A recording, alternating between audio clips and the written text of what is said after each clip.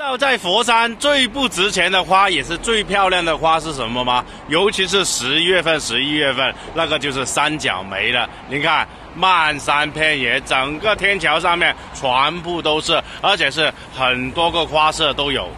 Hello，大家好，我是佛山二花匠。今天一大早去广州去买土了，我买了两大包的松树皮，两大包的那个糖泥，当然也买到了心心念念的文竹。买花回来的过程中呢，路过我家附近的一个天桥，我就发现呢，到处都是这种粉红色的颜色。当然呢，不仅是这个粉红色，还有白色的，有黄色的，有呃有呃紫色的，反正非常非常多。曾经有朋友问我，在家为什么不养一些这个东西呢？其实为什么？原因很简单，因为我家附近呢，只要去一个公园，只要去一个天桥，都能看到这个车花而。这个花在佛山，我觉得是最不值钱的，当然也是十月、十一月份冬天最漂亮的花。这个花就是三角梅了。哎，八点钟出发，就买了这几袋回来，花了几十块钱，特别的便宜。然后回来的时候，我就看到这个三角梅，你看。有朋友问我为什么不养，其实原因很简单，因为我家附近已经拥有最漂亮的一个三角梅花园了。无论哪个天桥，无论哪个花园，无论哪个东地方，都是这个三角梅。这个我觉得就应该是佛山市的市花了，太漂亮了，而且非常多的颜色，品种也非常多。有朋友问我这个东西难不难养，我告诉你，你跟着园艺工人养，你就知道怎么养好这个三角梅了。经常有朋友问我，这个花怎么难那么难养，那个花还怎么那么难养？其实呢，我们只需要跟着园艺工人养就可以的，人家都可以这样把它养爆盆。那么您在家想要养爆盆，我觉得真的没什么难度。那三角梅为什么很多家庭难养呢？其实最重要一个，我们养三角梅，第一个不要用大花盆，用一个小花盆就可以了。不要看它长那么大，但事实上呢，它的根系呢，一定要是这个木质。化的根系情况下呢，它才能开花。所以想要它尽快的开花，比如今年买回来，今年呢就要开花，一定要用一个小花盆。第二个就要看盆土了。我们看看这个园艺工人马路边天桥上面的三角梅用的是什么土？直接看一下哈，人家怎么养的，怎么养的好的，我们就跟着学就是了，哪有那么复杂？来。这个土壤，您看这里很多杂草是吧？经常有朋友说杂草多了不好，但是对于三角梅来说没有这回事。然后把土壤拨开，哦呸呸，好多花，把土壤开。我们先用手指按一下，你看这个盆土是比较板结的哈，有点硬的。原因很简单，因为它三角梅的根系呢已经把整个盆土呢给占领了。然后我们再用个稍微用力，看看能不能弄下一点土。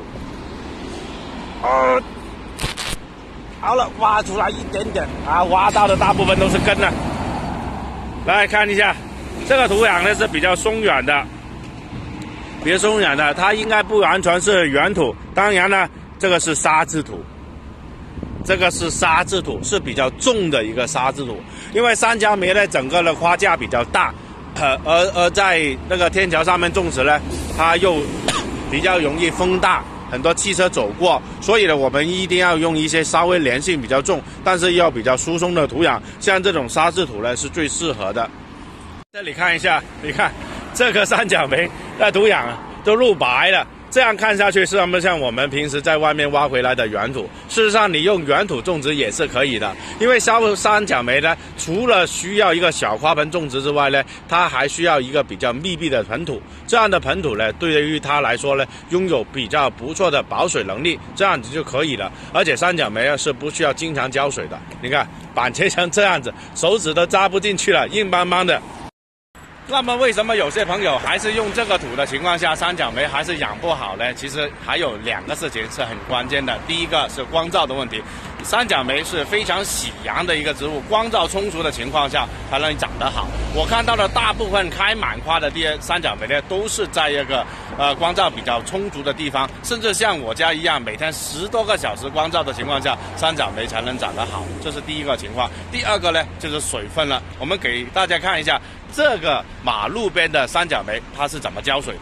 这个三角梅怎么浇水？你看，看到没有？这个三角梅的浇水的地方，它在它的根系附近，有一个滴管，就可紧紧的靠着我们的三角梅的根系，就在这个位置了，距离也就两厘米左右的位置就有这么一个滴管了。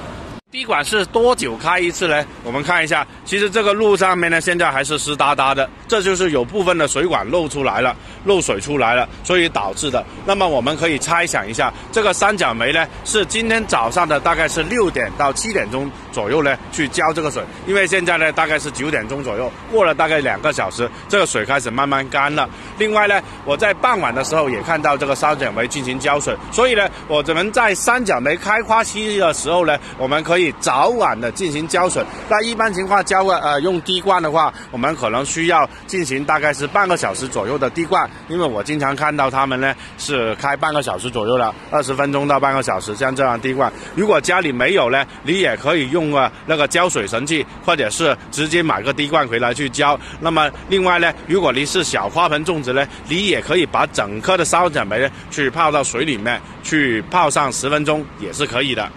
我在家呢，前两年也养三角梅，但是后来呢，我觉得太没意思了。这家伙呢，不用理它也能开满花，我就把它整个的焊死了。但是呢，呃，如果您在家想要想养三角梅呢，记住大水大肥。然后呢，光照足就可以了。可能有朋友会要问，要不要弄点磷酸二氢钾等等那些？如果你懂得怎么控水的话，您可能磷酸二氢钾都不需要，就能养出一个非常漂亮的三角梅。三角梅呢，对磷肥的要求呢不是很高，但是呢，只要懂得控水呢，它就能开满花。适当的给它一些磷酸二氢钾呢，也能锦上开花，让它开出更漂亮的花。您看。